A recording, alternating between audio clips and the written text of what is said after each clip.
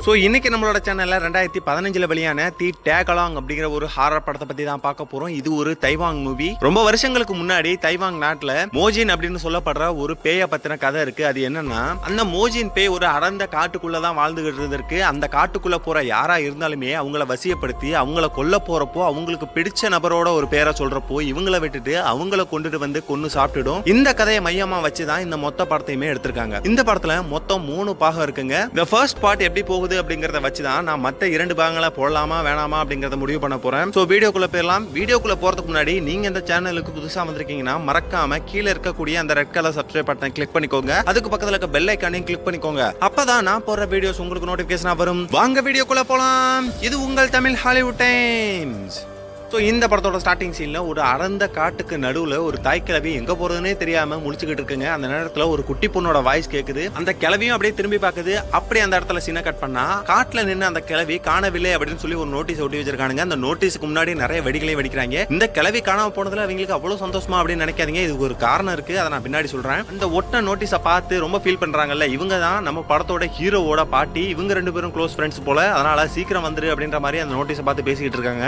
அங்கே கட் பண்ணால் நம்ம ஹீரோ அப்படியே நல்லா கொரட்டை அடிச்சு தூங்கிட்டு இருக்காங்க. அலாரம் வேற அடிச்சுக்கிட்டு இருக்கு. இந்த கிளவி போய் அலாரத்தை ஆஃப் பண்ணிட்டு அதோட வேலையை பார்த்துக்கிட்டு இருக்குங்க. இப்போ ஹீரோ டக்குன்னு கண்ணு முடிச்சு பாக்குறான் டைம் ஆகி போச்சு. ஏன் கிளவி டெய்லியும் ஆஃப் பண்ற மாதிரி இன்னைக்கு ஆஃப் பண்ணிட்டியா? இன்னைக்கு நான் ஆஃபீஸ்க்கு லேட்டு தான் அப்படின்னு சொல்லி அவசர அவசரமா கிளம்புறான். டக்குன்னு சாப்பிட்டுட்டு போறப்போ டிஃபன் பாக்ஸ் கூட வாங்காம ஓடி போயிட்டாங்க. ஆனா அந்த பாட்டினா இவனுக்கு உயிர். அந்த அளவுக்கு இந்த பாட்டி இவனுக்கு பிடிக்கும். அவன் போனதுக்கு அப்புறமா இவங்க மட்டும் தாங்க வீட்டுல இருக்காங்க. அப்ப இவங்களோட அந்த ஃப்ரெண்டு பாத்தீங்களா நோட்டீஸ்ல அவங்க கூப்பிடுற மாதிரியான சத்தம் கேட்டுக்கிட்டே இருக்கு. மெயின் டோர் வேற ஓப்பன்ல இருக்கு. என்னடா அது அப்படின்னு சொல்லி கிட்ட போறப்போ டக்குன்னு இவங்க வலிக்கு கீழே விழுந்துறாங்க வீட்டுக்குள்ள யாரோ வந்த மாதிரியான தடம் தெரியுது. அப்படியே அந்த பாட்டிக்கு பின்னாடி ஒரு கை அவங்க தலையை டச் பண்ற மாதிரி தெரியுது. அவங்களோட முகம் அப்படியே மாறுது. அப்படியே அந்த இடத்துல சீனை கட் பண்ணா நம்ம ஹீரோ அப்படியே ஜாலியா ஸ்கூட்டி ஓட்டிக்கிட்டு ரேடியோல ஒரு பொண்ணு பேசுறாங்க. அதை கேட்டுக்கிட்டே பையன் ஜாலியா போயிட்டு இருக்கான். இவங்க தான் நம்ம படத்தோட ஹீரோயினும் கூட இவங்க ரெண்டு பேருமே லவ் பண்றாங்க. நம்ம ஹீரோ ரியல் எஸ்டேட் ஏஜென்டா இருக்கான். அப்படி அவனோட ஒர்க்க பாத்துக்கிட்டு இருக்கப்போ அந்த இடத்துல ஒரு டிஃபன் பாக்ஸ பாக்குறான் என்னடா இது? பாட்டி கொடுத்த டிஃபன் பாக்ஸ் இங்க இருக்கே. நம்ம வாங்கவே இல்லையே. இங்க எப்படி வந்தது? பாட்டி எப்படி வந்தாங்க? அப்படின்னு அவனுக்கு ஒரு கன்ஃபியூஷன் உடனே கால் பண்ணி பாக்குறான் ஆனா கால் போகல. சரி ஓகே பாட்டி எங்க வெளில போயிருப்பாங்க அப்படின்னு நினைச்சுக்கிட்டு அவனோட ஒர்க்க முடிச்சுட்டு அப்படியே போயிட்டு இருக்காங்க. இன்னொரு பக்கம் ஹீரோயினுக்கும் ஒர்க் முடிஞ்சிருச்சு. அவ ஒர்க்க முடிச்சுட்டு அப்படியே வெளியில வரலாமே அப்படின்னு பாக்குறப்போ ஒரு பொண்ணோட வாய்ஸ் கேக்குது குட்டி பொண்ணோட வாய்ஸ் கேக்குது. என்னடா அது அப்படின்னு சொல்லிட்டு பார்த்தா அது வேற யாரும் கிடையாதுங்க. இவ கூட ஒர்க் பண்றவங்களோட பொண்ணு தான் அவளையும் கொஞ்சிட்டு அப்படியே ஹீரோ ஹீரோயின் ரெண்டு பேருமே ஸ்கூட்டில போறாங்க. நம்ம ஹீரோ உனக்கு நான் ஒரு சர்ப்ரைஸ் வச்சிருக்கேன் அப்படின்னு சொல்லிட்டு ஒரு பிளாட்டுக்கு கூட்டு போறாங்க. ரெண்டு பேரும் அப்படியே டான்ஸ் ஆடிக்கிட்டு அப்படியே ரெண்டு பேரும் கொஞ்சிக்கிட்டு அப்படியே ஜாலியா இருக்காங்க. அந்த இடத்துல நம்ம ஹீரோ ஒரு விஷயத்தை ஓபன் பண்ணி விடுறான். என்னன்னா இந்த பிளாட்டே உனக்காக தான் வாங்கினேன். நம்மளோட கல்யாண வாழ்க்கையை இங்கே தான் வாழ போகிறோம் அப்படிங்கிறதெல்லாம் சொல்லிட்டு இருக்கப்போ ஹீரோயின் டக்குன்னு டென்ஷன் ஆகிறாங்க. ஏன்னா அவங்களுக்கு இந்த குழந்தை குட்டி கல்யாணம் இதெல்லாம் பெருசாக நம்பிக்கை கிடையாது. நம்ம ஹீரோவும் சரி ஓகே டென்ஷன் ஆகாத. பாட்டி கிட்ட உன்னை பற்றி நான் சொல்லியிருக்கேன். இன்னைக்கு நைட்டு உன்னை சாப்பிட கூப்பிட்டாங்க. அவங்க ரெடி பண்ணி வச்சிருப்பாங்க. முதல்ல நம்ம போகலாம் அப்படின்னு சொல்லிட்டு அந்த இடத்துல இருந்து கிளம்புறாங்க. வீட்டுக்கு போனால் அங்கே சாப்பாடு ரெடியாக இருக்குங்க. ஆனால் அந்த கிளவியை காணும். கிளவி போய் சேர்ந்துருக்குமோ அப்படின்னு நம்ம நினைப்போம். ஆனா இல்லங்க. அந்த கிளவி இங்க தான் வளர்த்திக்கிட்டு இருக்கு. ஆனா அவங்களோட நடை பாவனை எல்லாம் கொஞ்சம் வித்தியாசமா இருக்கு. அப்படியே பேசிட்டு சாப்பிட்டுட்டு ஹீரோயின் அந்த இடத்துல இருந்து போயிடுறாங்க. காலையில விடியுது. நம்ம ஹீரோ மறுபடியும் கண்டு முழிக்கிறான் கிளவி இன்னைக்கு நீ அலாரத்தை ஆஃப் பண்ணிட்டியா? அப்படின்னு கடுப்புல போவான் பாருங்க. ஆனா அந்த கிளவியை காணும். சரி ஓகே வெளியில போயிருப்பாங்க போல அப்படின்னு நினைச்சிட்டு நம்மளால வெளியில கிளம்பி போறான். அந்த இடத்துல கூட்டமா எல்லாம் நின்றுட்டு இருக்காங்க. என்னடா அது? அப்படின்னு போய் எட்டி பார்த்தா அந்த ஃபர்ஸ்ட் சீன்ல காணாம போன ஒரு கிளவி இங்க வந்து உட்காந்துருக்கு நம்ம ஹீரோவை பார்த்து என்ன மன்னிச்சிரு. நான் தெரியாம அந்த பேரை சொல்லிட்டேன். எனக்கு வேற வழி தெரியல அப்படின்னு அழுதுகிட்டே இவங்கிட்ட ஏதோ சொல்லிக்கிட்டு இருக்காங்க. இவனுக்கு ஒண்ணுமே புரியல. ஆபீஸுக்கு வெளியில ஒரு வண்டு முச்சுக்கிட்டு இருக்க மாதிரி காட்டுறாங்க. அப்படியே ஆஃபீஸை காமிச்சா நம்ம ஆளுக்கு ஒரு கொரியர் வந்திருக்கு. அந்த கொரியரை ஓபன் பண்ணி பார்த்தா நம்ம ஹீரோவோட பாட்டி ட்ரெக்கிங் போயிருப்பாங்க. கூடவே அந்த காணாம போனாங்க பாத்தீங்களா ஃபர்ஸ்ட்ல அவங்களும் இருந்திருப்பாங்க அதுல. அந்த வீடியோ அப்படியே பாத்துக்கிட்டு இருக்கப்போ எல்லாருக்கும் பின்னாடி ஒரு குட்டி பொண்ணு வித்தியாசமா நடந்து போறத பாக்குறான் பாத்துக்கிட்டே இருக்கப்போ டக்குன்னு மேனேஜர் உள்ள வந்து டேய் எவன்டா சேத்த மிதிச்சிட்டு வந்தது? நாத்தமா நாறுதுடா. முதல்ல வெளில போங்கடா அப்படின்ற மாதிரி சொல்லிட்டு இருக்காங்க. நம்ம ஹீரோ நோந்து பாக்குறான் ஆனா இவன் மேல எந்த வாசனையும் இல்ல. மத்தவங்களுக்கு தெரியுது இவனுக்கு தெரியல. நேரா வீட்டுக்கு போறாங்க. வீட்டுக்கு போறதுக்கு முன்னாடி இந்த செக்யூரிட்டி கிட்ட இப்ப காணாம போயிட்டு திரும்பி வந்தாங்க பாத்தீங்களா? அந்த பாட்டியோட வீட்டுல இந்த கேமராவை கொடுக்கணும் அப்படின்ற மாதிரி கேட்டுக்கிட்டு இருக்காங்க. அந்த கிழவியை நான் பார்க்கவே இல்ல. வீட்டுக்கு கொண்டு போய் கொடுத்துருவோம் அப்படின்னு சொல்லிட்டு ரெண்டு பேரும் போறாங்க. வீட்டை ஓபன் பண்ணா வீட்டுல யாரும் இருக்கிற மாதிரியே தெரியலங்க. அது மட்டும் இல்லாம சாப்பிட்டது போட்டது எல்லாம் அப்படியே வச்சது வச்சதுபடியே கிடக்கு. டக்குன்னு அங்க உள்ள டோர் எல்லாமே க்ளோஸ் ஆகுதுங்க. செவல தாவுடா தாவு அப்படின்ற மாதிரி ரெண்டு பேரும் அங்கிருந்து தெரிச்சிட்டு ஓடுறாங்க. எல்லா டோருமே க்ளோஸ் ஆயிருச்சு. அது மட்டும் இல்லாம ஒரு சின்ன பொண்ணோட வாய்ஸ் கேட்டுக்கிட்டே இருக்கு. இவங்க பயந்து நடுங்கிட்டு இருக்காங்க. டக்குன்னு பார்த்தா ஒரு டோர் ஓபன் ஆகுது. பாஞ்சுக்கிட்டு வெளியில ஓடி போயிடுறாங்க. நம்ம ஹீரோவுக்கு வாந்தியே வந்துருது. இப்போ தன்னோட பாட்டியை காணோங்கிறதுனால சிசிடிவி கேமரா மூலியமா செக் பண்ணி பார்க்கலாமே அப்படின்னு சொல்லி நம்ம ஹீரோ செக் பண்ணி பாக்குறாங்க அதுல ஒரு குட்டி பொண்ணு அந்த பாட்டியை கூட்டிட்டு போன மாதிரியான ஃபுட்டேஜ் இருக்கு. இது மட்டும் இல்லாம இதே பொண்ணை தான் அவங்க ட்ரெக்கிங் போனப்ப அவங்களுக்கு பின்னாடி இவன் பார்த்திருப்பான். இது மட்டும் கிடையாது இன்னொன்னு ஒன்று இருக்கு அப்படின்னு சொல்லி இன்னொரு ஃபுட்டேஜ் ப்ளே பண்ணா ஹீரோவும் அன்னைக்கு அந்த செக்யூரிட்டியும் வெளியில வந்து வாந்தி எடுப்பாங்க பாத்தீங்களா? அப்பவுமே அந்த குட்டி பொண்ணு வெளியில வந்திருக்கா இவங்க பின்னாடி நின்று இவங்கள பாத்துக்கிட்டே இருந்திருக்கா. இப்போ அந்த ஃபர்ஸ்ட் காணாம போனா பாத்தீங்களா ஒரு கிளவி அந்த கிளவியோட போட்டோ எடுத்துட்டு நம்ம ஹீரோவோட பாட்டியோட அந்த போட்டோ ஓட்டுறாங்க. சோ இப்போ அவங்க இவங்களோட பேரை சொன்னதுனால அந்த பேய் இவங்களை அட்டாக் பண்ணி கூட்டிட்டு போயிருக்கு. நோட்டீஸ்க்கு முன்னாடி செக்யூரிட்டி வெடியை போட்டு போறாரு. இதுக்கு என்ன காரணம்னா வெடினா அந்த பேய்க்கு பிடிக்காது. அந்த சத்தம் கேட்டு காணாம போனவங்க திரும்பி வந்துருவாங்க அப்படின்னு ஒரு நம்பிக்கையும் இருக்கு. இப்போ நம்ம பையன் அப்படியே நல்லா கொரட்டை அடிச்சு தூங்கிட்டு இருக்காங்க. மறுபடியும் அலாரம் அடிக்குது. அந்த அலாரத்தை ஒரு கை வந்து ஆஃப் பண்ணுது. நம்ம பாட்டி தான். டே டைம் ஆச்சுரா சீக்கிரம் எழுந்திரி அப்படின்ற மாதிரி நம்ம ஹீரோ எழுப்புறாங்க. ஆனா நம்ம பையன் நல்லா தூங்கிட்டே தான் இருக்கான். டக்குன்னு கண்ணு முழிக்கிறான். அப்படியே டைனிங் டேபிள்ல வந்து பார்த்தா அந்த பாட்டியோட நினைவுகள் அவனுக்கு வருது. ஏன்னா சின்ன வயசுல இருந்து அம்மா அப்பா இல்லாம அந்த பாட்டியோட வளர்ப்புல தான் அவன் வளர்ந்துருப்பான். அந்த பாட்டினா இவனுக்கு அவ்வளவு உயிர். அப்படியே பக்கத்துல இன்னொரு ரூமுக்கு போனா அங்க அந்த சேரு சகதையோட மறுபடியும் அதே மாதிரியான தடம் தெரியுது. நம்ம ஹீரோ டேபிளுக்கு அடியில ஏதாவது ஒன்னு எழுதி வச்சுட்டு போவான். அதனால் மறுபடியும் டேபிளுக்கு அடியில் குனிஞ்சு போய் என்ன இருக்கு அப்படிங்கிறத பார்த்தா அந்த பாட்டி எழுதுற மாதிரியான ஒன்று இருக்கு. நான் சீக்கிரமாவே வந்துடுவேன் நீ பயப்படாத அப்படின்ற மாதிரி எழுதி வச்சிருக்காங்க. இப்போ நம்ம ஹீரோவுக்கு பின்னாடி டக்குன்னு ஒரு கை தட்டி அப்படியே கூப்பிடுது. என்னடா அது அப்படின்னு சொல்லி திரும்பி பார்க்குறான். அந்த இடத்துல யாருமே கிடையாது. அப்படியே டேபிளுக்கு மேலே இப்போ ஒரு உருவம் நிக்குதுங்க. நம்ம ஆள் அப்படியே அலறி போய் ஒரு ஓரத்தில் ஒதுங்குறான். அவனோட கழுத்தை யாரும் நெருக்கிற மாதிரி தெரியுது. போய் சேர்ந்துருவானோ அப்படின்னு நம்ம நினைப்போம். ஆனா இதெல்லாம் கனவுங்க. காலங்காத்தாலே பயப்புல கனவு கண்டுகிட்டு இருக்கான். அப்படியே எழுந்திரிச்சு வந்து ஹாலை பார்த்தா அந்த பாட்டி நின்றுகிட்டு இருக்குங்க. இவனுக்கு பேச்சே வரல. கட்டி பிடிச்சிட்டு அழுகுறான். உன்னை நான் ரொம்ப பண்ண மாட்டேன். எங்க பாட்டி போயிட்டீங்க அப்படின்னு சொல்லி அழுகுறான். அங்க கட் பண்ணா நம்ம ஹீரோயின் அவளோட வேலையை பார்த்துக்கிட்டு இருக்கப்போ திடீர்னு அந்த பக்கத்துல இருந்து கால் பண்ண காலரோட வாய்ஸே டிஃப்ரெண்டா கேட்டுக்கிட்டு இருக்கு. ஒரு குட்டி பொண்ணோட வாய்ஸ் மாதிரி கேக்குது. என்னடா இது வித்தியாசமா இருக்கே அப்படின்ற மாதிரி பேசிக்கிட்டு இருக்க போய் அந்த இடத்துல நம்ம ஹீரோ வந்து நிக்கிறான். இவனோட பேச்சும் நடவடிக்கையும் கூட ஒரு வித்தியாசமா தான் தெரியுது. வீட்டுக்கு வா உன்னை பாட்டி சாப்பிட கூப்பிட்டாங்க அப்படிங்கறதையே சொன்னதே திரும்ப திரும்ப சொல்லிட்டு இருக்கான். சரி இவனுக்கு உடம்பு முடியல போல அப்படின்னு நினைச்சுக்கிட்டே இவங்க ஹாஸ்பிட்டல் கூட்டு போறாங்க. அங்க போயிட்டு வந்து பார்த்தா இவனை ஆளை காணா எங்கடா போயிட்டான் அப்படின்னு பார்த்தா ஒரு ரூமையே வெறிக்க வெறிக்க பாத்துக்கிட்டு இருக்காங்க. இங்க உள்ள குழந்தைங்க எல்லாம் ரொம்ப அழகா இருக்காங்கல்ல அப்படின்னு பார்த்து சொல்லிக்கிட்டு இருக்கான். என்னடா அவன் போய் பேசிக்கிட்டு இருக்கானே அப்படின்னு சொல்லி அந்த ரூமை எட்டி பார்த்தா அந்த இடத்துல யாருமே கிடையாதுங்க. வெறும் சேர் தான் கிடக்கு. அப்படியே ஹீரோ ஹீரோயின் ரெண்டு பேருமே வீட்டுக்கு வராங்க. வீட்டுக்கு வந்ததுக்கு அப்புறமா ஹீரோ தான் முதல்ல உள்ள போறான். உள்ள போனதுக்கு அப்புறமா ஹீரோயின் அப்புறம் பின்னாடி போறாங்க.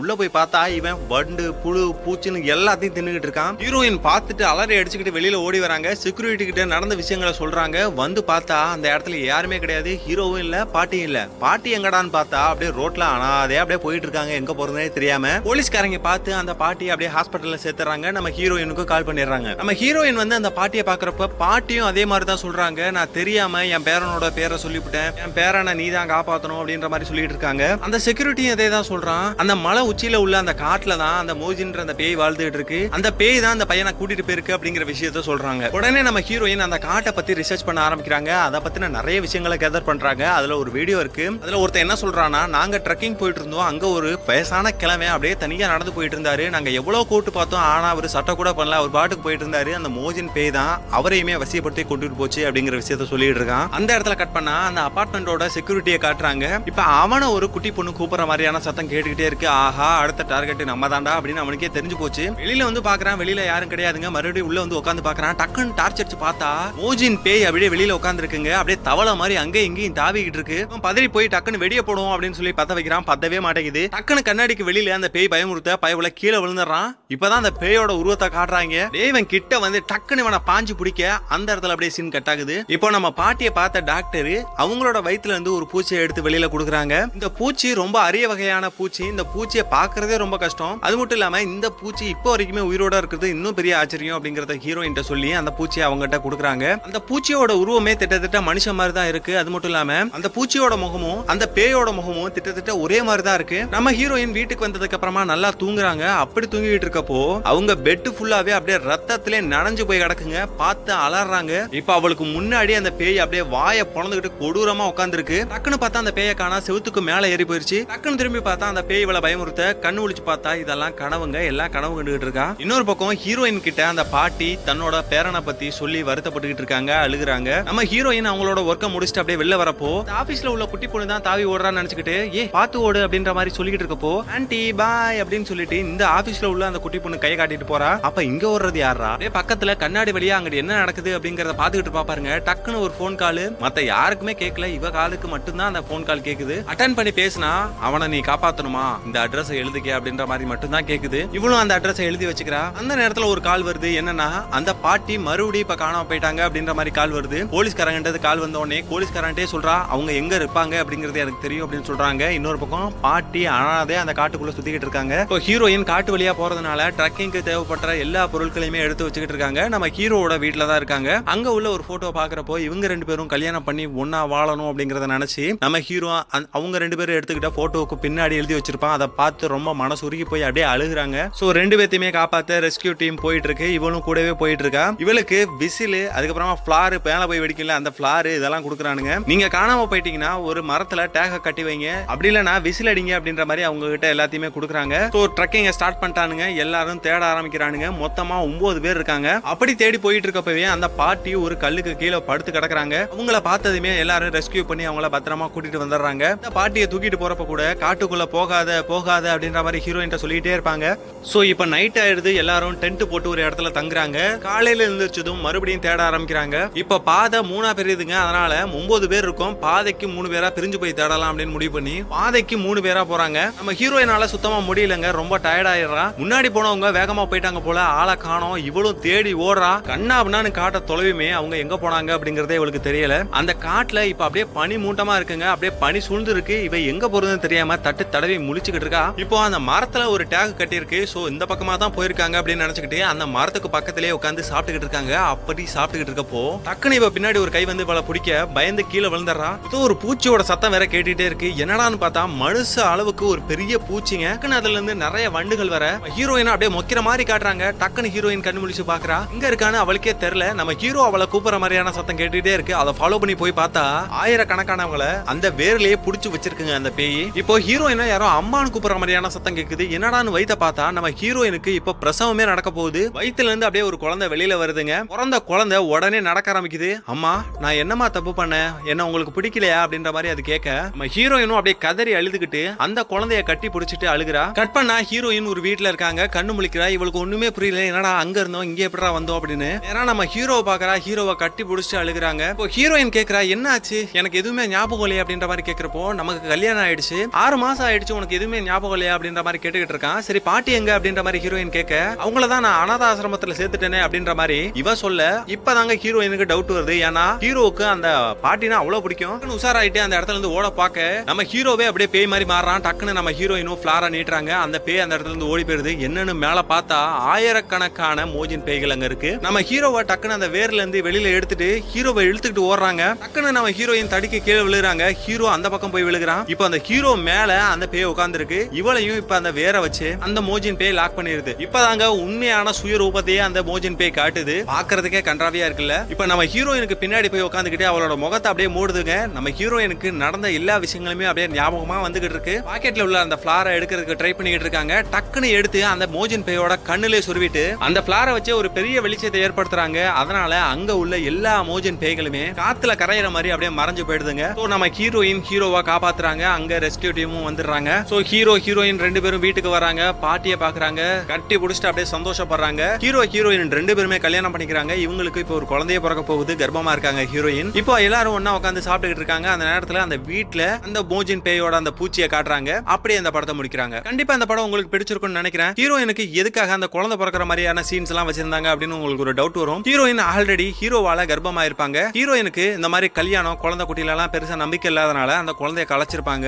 அதோட ஞாபகம் வந்ததுனால தான் அந்த குழந்தைய கட்டி பிடிச்சிட்டு அழுதாங்க. இந்த படத்தோட இரண்டாவது பாகம் வேணும்னு நினைச்சீங்கன்னா மறக்காம கீழே கமெண்ட் பண்ணுங்க. நீங்க கொடுக்குற அந்த கமெண்ட்டை வச்சு தான் நான் இரண்டாவது பாகத்தை போடலாமா வேணாமா அப்படிங்கறத முடிவு பண்ண போறேன். சோ உங்கள்ட்ட ஒரு சின்ன ரெக்வஸ்ட் என்னன்னா நான் போட்ட வீடியோவை மத்த எல்லாருக்குமே ஸ்ப்ரெட் பண்ணுங்க ஷேர் பண்ணுங்க. எல்லாருமே சப்ஸ்கிரைப் பண்றீங்க. ரொம்ப சந்தோஷமா இருக்கு. சப்ஸ்கிரைப் பண்ணதோட மட்டும் விட்டுறாம பக்கத்துல இருக்கக்கூடிய பெல் ஐக்கானையும் கிளிக் பண்ணீங்கன்னா மட்டும்தான் நான் போடக்கூடிய வீடியோஸ் உடனுக்குடனே உங்களுக்கு நோட்டிபிகேஷனா வரும். நம்மளோட சேனல் க்ரோவுக்கு உங்களோட சப்போர்ட் எனக்கு ரொம்ப பெருசா தேவைப்படுது. கண்டிப்பா நீங்க தருவீங்கன்னு நான் நம்புறேன். மீண்டும் இன்னொரு நல்ல வீடியோல சந்திப்போம். அது வரைக்கும் நீங்க இந்த சேனலை சப்ஸ்கிரைப் பண்ணனா சப்ஸ்கிரைப் பண்ணிடுங்க. பக்கத்துல இருக்கக்கூடிய பெல் ஐக்கானையும் கிளிக் பண்ணிக்கோங்க. அப்பதான் நான் போற வீடியோஸ் உங்களுக்கு நோட்டிபிகேஷனா வரும். தேங்க்யூ